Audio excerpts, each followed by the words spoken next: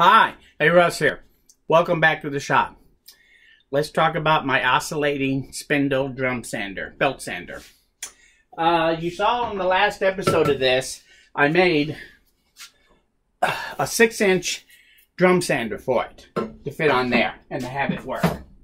And I want to give you an update on that and because now I've got dust collection on this and I'm going to show you kind of where I'm at and where we want to go with this whole project before we're done because we still got lots of things we want to do to improve this machine. Even as awesome as it is, there's lots of other things you can do with it that you probably hadn't even thought about yet. So anyway, so I have it set up with the biggest drum on there right now.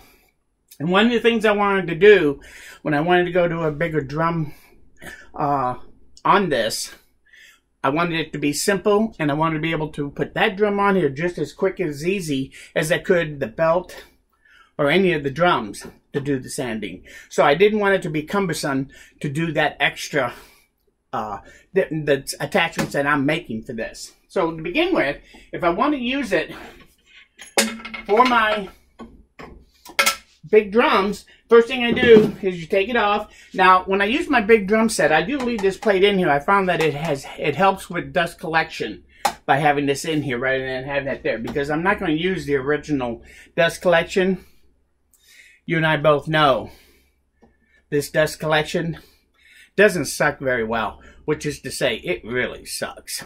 But we're going to improve that. Um, we're also going to improve it for the belt sander that is attached on here at times because that's when you really get a mess from the uh, dust on this thing is with that belt sander. But that's another, that's going to be another video. So anyway, so let's switch this over to my bigger drum. I made the table, and this is just the prototype. I'm going to make a nicer one before I'm done. Basically, a runner on the back and a dowel right here so that it lines up every time. And all you do is you drop this on here, drop it down into the miter slot,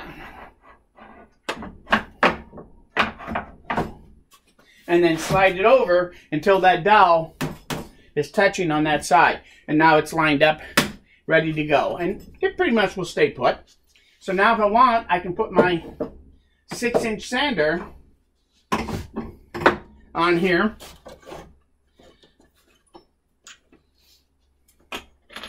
And just this quick and easy, I now switched over from my two inch sander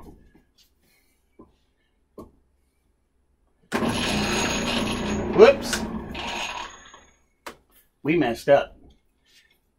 No, I can't edit this out. You're going to have to make... Go ahead, laugh. I messed up. You know what I did, don't you? Got to put my spacer in there. So, put my spacer in there. Now let's put the drum on. You can stop laughing now. And we tighten it down. And now I'm ready to go using this sander It'll be fine. I use this sander now instead. As far as dust collection, I made this hood. Basically, it's just a box, open in the bottom, open in the front, and I put a couple of feet on it to clamp to be able to clamp it down. Vacuum hose goes in, attaches at the back. And I put these two here to help guide all the sawdust directly to this at the back of the box. So basically you just set it here wherever you want it and clamp it down with a couple of clamps and you're ready to go. Now, one thing you want to do is that because the rotation of this drum is going this way, you want to make this side over here as close as you can. If you're going to go at the back and have a lot of exposure, that's okay. You still want this to be close as you can get it without it touching. If you're going to come all the way forward, you still want to try to get this as close as you can to here. Then when you clamp it down, all the sawdust will go in through this side here.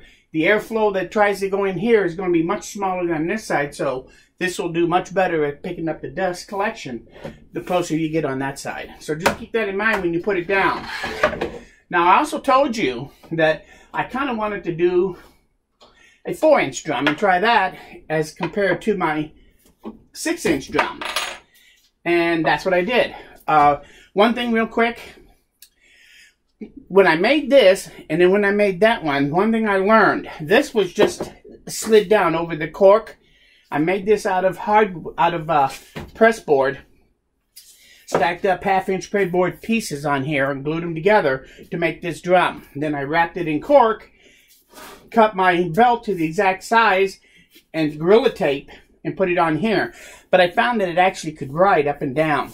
So what I did is I took it off and I sprayed it with an adhesive and I put it back on there along with the Gorilla Tape here so that when I put it on there, now the uh, um, spray adhesive helps hold this from moving around. And so when I made this one, I tried a couple other ways. I tried the dowel with the slot, and that didn't really work out very well for me, quite frankly. So I ended up, again, spray adhesive around the cork, Gorilla Tape on the backside where I bring this together at the seam, put it all together, and this thing seems to work fine. Replacing it, we'll just have to see how that goes. I don't know how long this will last. I assume that the worst case scenario, I have to peel the cork, cork off and everything and replace the cork when I replace the belt. But I don't think I'll have to replace it very often. I suspect I'll get multiple months out of this, if not years. So we'll see, and I'll let you know as we go along. But that's what I, the thing, the way I make them now is I just use spray adhesive and I tape it on the back side with Gorilla Tape to hold this thing on my drum.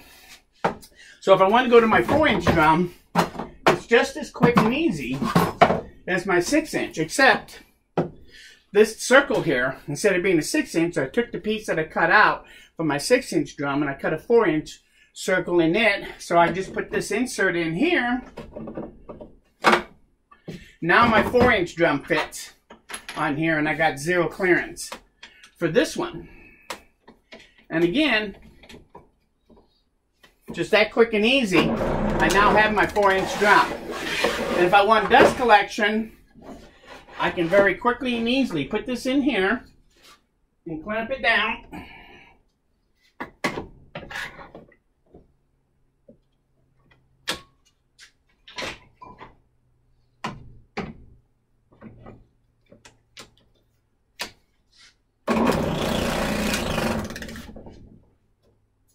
And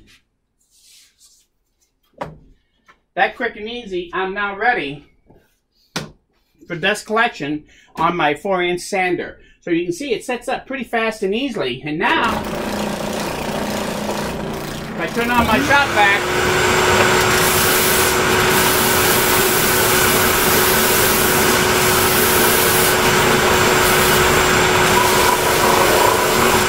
you can see the dust is pretty much going right up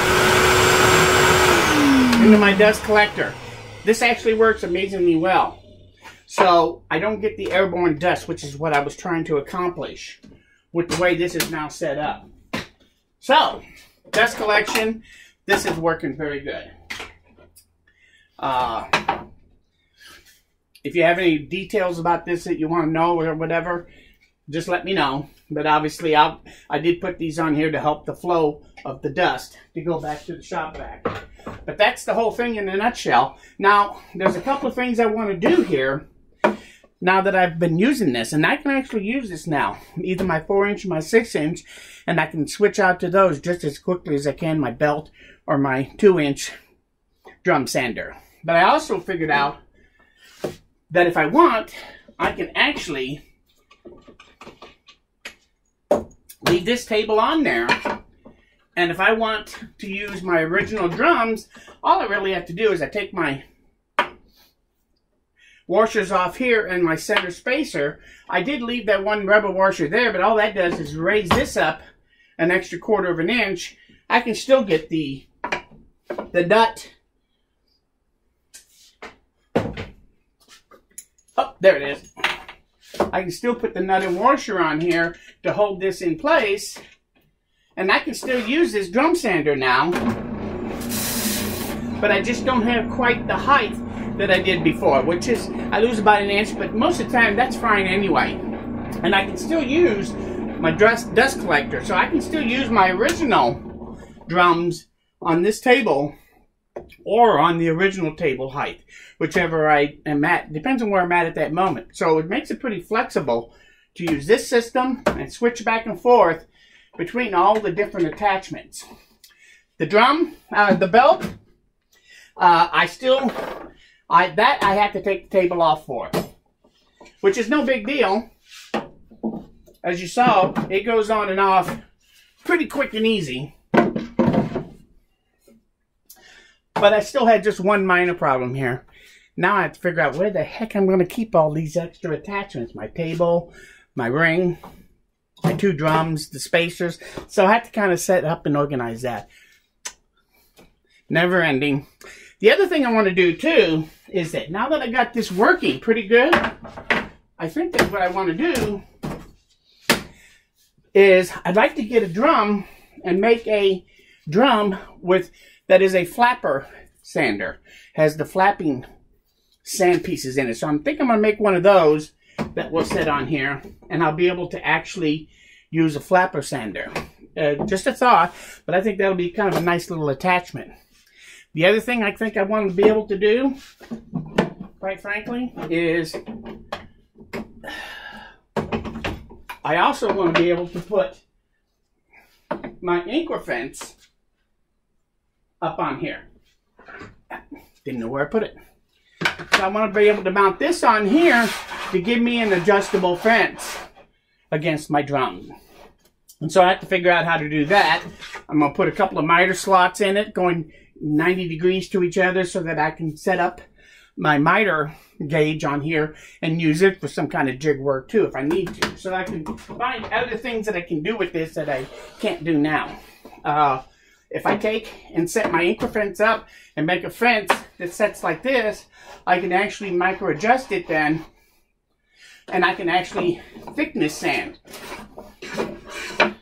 using this setup, I think. And we're also going to set that up. So this thing will actually become a thickness sander, a drum sander for thickness sanding, as well as just uh, freehand sanding before I'm done. Those are some of the things I want to do with it.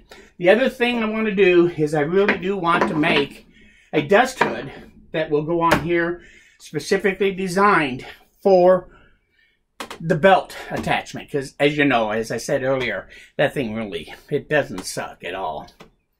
Yes it sucks. Anyway that's the plan.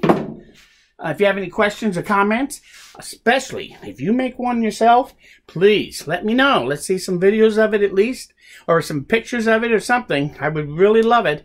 Uh, but let me know if you do the same thing and try to make yours work and expand the capability. If you have any uh, suggestions or, or any questions about how to do any of this, just leave it in the comments. If you learned something here, got some new ideas, or if you just plain like this video, hit that like button. Sometimes you can use that even if you just learned something so I know you learned.